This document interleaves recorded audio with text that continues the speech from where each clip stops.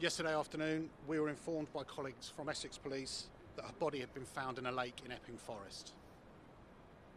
Whilst we wait for formal identification, we have spoken to Richard's family to update them with this latest development and also continue to provide them all the support they need with our specially trained family liaison officers. This is an extensive inquiry and we are working tirelessly to establish the full circumstances. I would like to th- thank the public for their continued support and would encourage them to please come forward with any further information that may assist. Thank you.